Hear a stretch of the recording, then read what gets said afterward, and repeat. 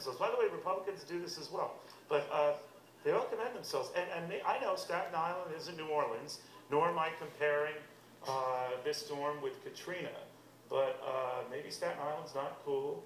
Maybe it's not so cultured. Maybe it's not, maybe it's not anything that many of the mainstream media would like or draw uh, quick comparisons to. But um, man, there are a lot of people without power there. A lot of people without homes there. A lot of people underwater there. Is it because it's Staten Island and no one gives a damn? I mean, I don't know.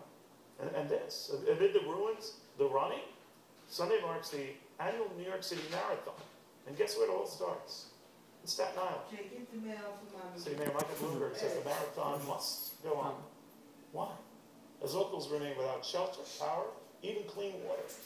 Many of them are seeing race preparations underway using resources, including generators, lots of water, food, porta potties that they could use, that they would need. To a resident of that, that fine Staten Island, Marianne Alessio, right now. Marianne, how you doing? I've had better days. Things are not good. There's no sunshine here, that's for sure. Um, what do you think of the marathon this weekend? I think the marathon is a disgrace and shame on, on Bloomberg. Shame on that man.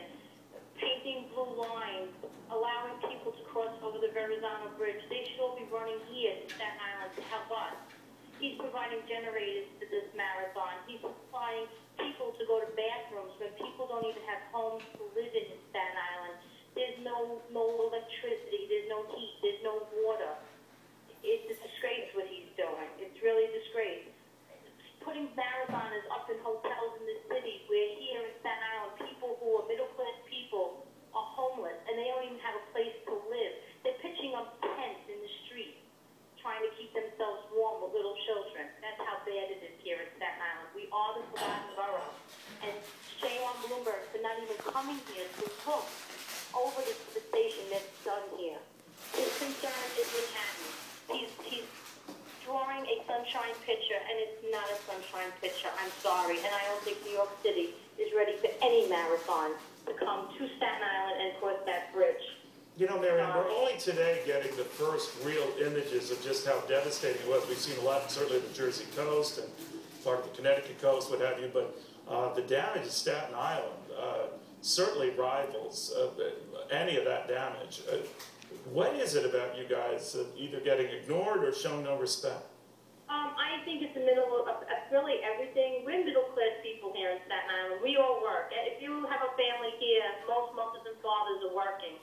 We're not rich. We're not very wealthy. We are middle class people that go to work, and and that's basically it.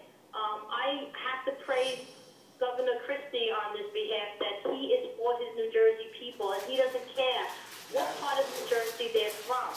Whereas Bloomberg, he is concerned about Manhattan and only Manhattan.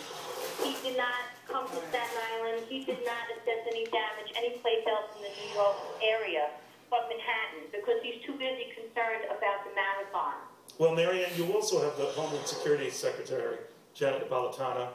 Uh, God bless her. She came today, right. and she let her presence known on Staten Island, and she said to her handout to Staten Island, which is is about the only um, official so and what do you need? If you, if you had to reach out to all of these officials on the left or right, whether federal, state, local, what do you need, Marianne? What do your friends well, and neighbors need? Well, I'll be honest with you. Uh, what we need, believe it or not, today I have. I'm a, I'm a registered nurse, and my husband works as a. He has a very good job also, and we're middle class people. I had to get toilet paper, toilet paper, simple toilet paper from someone in the street that was walking around with toilet paper and bottles of water and tuna fish sandwiches Go to people who can't get out. Go to people and try to help them. You know, we don't have that. Who's been good is the National Guard. They've been here from day one. NYPD started showing their faces in, in the New York area the second day of the storm because there was so much robbery going around. We, we have homes here that were robbed. People came in from other neighborhoods to rob televisions, uh, whatever they could savage because people evacuated their homes. Me, unfortunately, I didn't evacuate my home, but I was caught up to my neck in water outside my house trying to evacuate my home, and I couldn't. And another neighbor took me back in, me, my husband, and my daughter. Well, Marianne, do you think there are lots of folks still stuck in homes? There might be more bodies found in Staten Island? Um, I don't know if you're aware, but we did lose many people here in Staten Island. Um, I know that there's a lot of people that are very destitute, that their areas weren't even touched with health yet. Midland, I know Midland, my friend lives in Midland, and she told me yesterday she went back home, she even couldn't even get to her house. The water was so high on Jefferson that she couldn't get there. I mean, here, I live down by Cedar Grove area.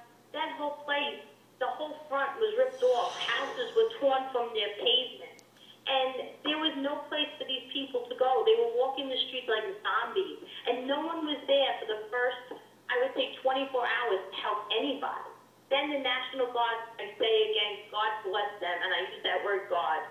God bless them. They came and they would help their support, and NYPD came, then the fire department came. But it's just, it's just not enough. And now Mayor Bloomberg wants to take all this help. He wants to take police officers to line the streets for this marathon. He he ordered Parks Department to clean up parks areas. What's more important? People's human lives. Get them water or clean a Parks Department because a tree fell down. Amazing. Marianne, you said it better than I ever could, which is why I'm going to shut up.